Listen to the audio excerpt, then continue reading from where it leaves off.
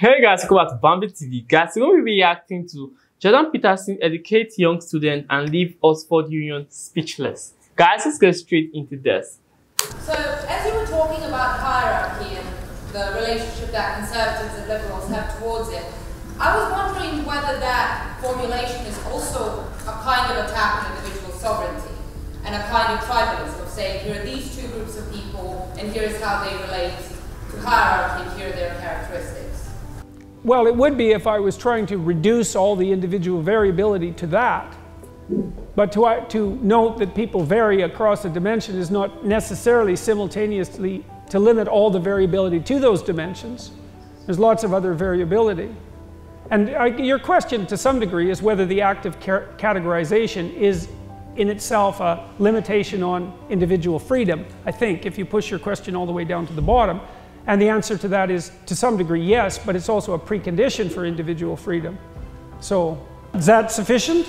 But, but you sort of do have certain predispositions that you're giving in the same way in which people from political correctness are trying to say this is what it means to be a woman, these are the kind of things that it is expected from a woman to do to defend herself. And it seems to me that you are making a similar claim about this is what conservative people do, and this is how they always relate to hierarchy.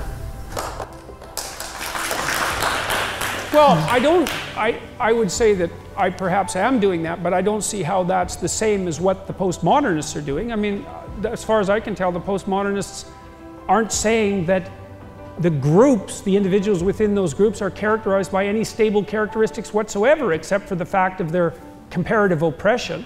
Like, so I don't understand the first part of your argument. I mean, part of the reason the postmodern types have been going after me is because I, I've dared to say that men and women differ in temperament, which, by the way, they do. So, now, you know, that, that's actually, that, that's actually something that might be worth just di differentiating quickly because it's actually technically somewhat challenging, but also very much worth knowing. I was debating um, someone on a panel this morning on a TV show, The Right Stuff. Um, and this was a woman who led the female, the, the Women's Equality Party. And she cited some psychological literature that purported to claim that men and women were mostly the same. And that's actually true. We are more the same than different. If you look at our temperaments, there's more overlap than there is variance by a substantial amount. And so even on the temperamental dimensions where there is most difference between men and women, the difference isn't of massive magnitude at the center of the distribution. So for example, women are less aggressive than men, which is, by the way, why they commit try to commit suicide more often, but are much less lethal in their actions. That's one example, but there are many examples. If you draw a random woman and a random man out of the population, the probability that the man will be more aggressive is 60%. If you bet on the man, you'd win 60% of the time. That's not a walloping difference. It's not 95% of the time.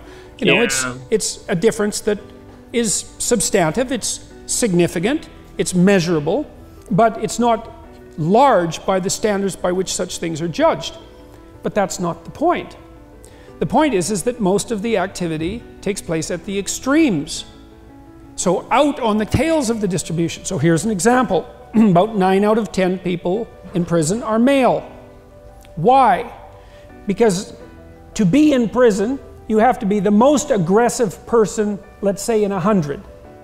Okay, those differences at the midpoint are large enough so that if you go out to the extremes, one in a 100 people, you have an overwhelming preponderance of men. And so you can have your cake and eat it too. You can say, well, yeah, broadly speaking, men and women are more the same than different the, the overlap is greater than the, than, the, than the disjunction. But that's not relevant if what's being selected is often at the extremes, and it often is. So for example, with regards to engineering, there's a fair bit of evidence that people who are more interested in things than in people become engineers. Now, that's not really going to be, what is that, shocking? Are you shocked by that? You shouldn't be shocked by that, right? You can, you can tell that not only by what engineers do, but you can tell that by how they think, and you can tell that just by talking to them if you know a bunch of engineers. So, and it turns out that the largest temperamental difference that's known between men and women is actually interest in people versus interest in things. And so it has nothing to do with competence, but it has a lot to do with interest. And because you have to be very interested in things to go be an engineer, because that's all you're going to be doing if you're an engineer, then only those people who are extremely interested in things tend to become engineers.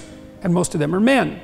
And that's why, even in places like Scandinavia, where a tremendous amount of effort has been put into flattening the sociocultural landscape, and successfully, by the way, there's still a preponderance of male engineers. And there's a preponderance of female nurses. And no matter how much sociological gerrymandering goes, along, goes on, those statistics have remained quite intractable over about a 15 year period. And so there are differences. There are differences. They're not massive. And then you might ask, well, are those sociocultural or biological? It's like, well, that's a hard question to answer because it depends on how much variability there is in the sociocultural landscape because the proportion by which something is biological versus sociocultural varies with the sociocultural landscape. That's a complicated thing to, to, to digest because you think of those things as fixed, but they're not. So, but what we have demonstrated quite clearly, and this is mainstream science despite the fact that people don't like it, this, this, test has already been done. So we, we, developed a personality model that's pretty stable across cultures, purely derived from statistical, from statistical processes, an atheoretical model if there ever was one, and quite an unattractive model because of that conceptually. But that's beside the point. Then we saw cross-culturally whether there were differences in the fundamental temperaments of men and women, and the answer was yes, cross-culturally, quite robust.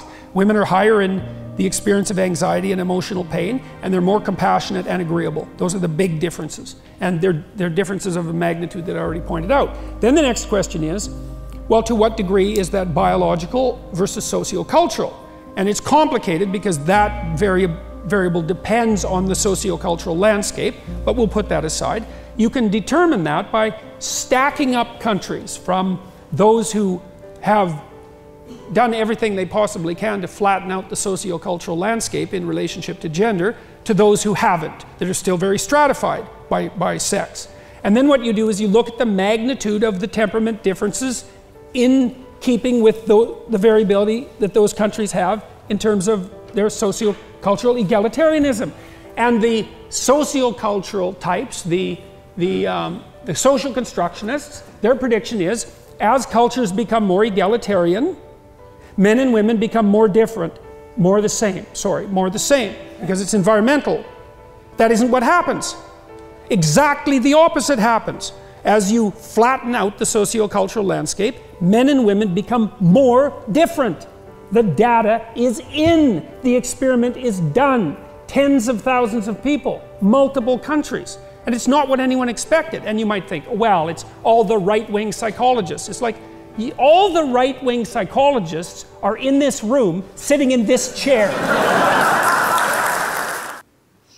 Guys, this was amazing. Like, I actually love the way Jordan I actually love the way Jordan Peterson expresses himself. Like, if you know Jordan Peterson, you know he's actually in for this gender equality and stuff. He's actually a feminist. I would say, if feminist stand for what I think it stands, believing that women should end, um, women should be treated equally as men. Yes, I believe they should, and I believe no will actually, no logical person will feel men should be treated less than a man.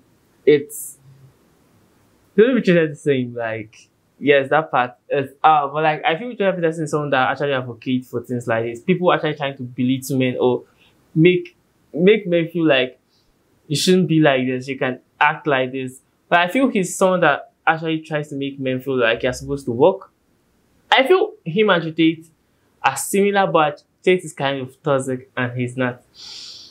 Yes, I think that's just the right word. but like guys, what you think about this video. Just to like, share, subscribe to my channel. I'll see you next time guys. Best.